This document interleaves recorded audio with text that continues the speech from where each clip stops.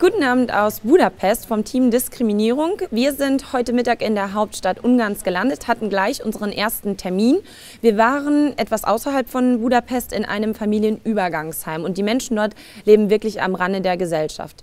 Die Frau, mit der wir da waren, die sagt, die Regierung kümmert sich nicht, die EU kümmert sich nicht. Wenn wir keine Spenden bekommen würden, dann ähm, würde dieses Projekt auch nicht funktionieren. Und die Kinder, die dort aufwachsen, das sind wirklich verlorene Kinder, so sagte sie uns.